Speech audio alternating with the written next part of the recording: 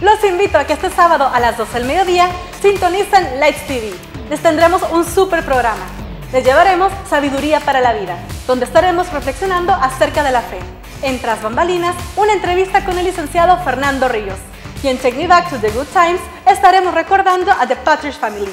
Esto y mucho más en Lights TV. Ilumina tu mente.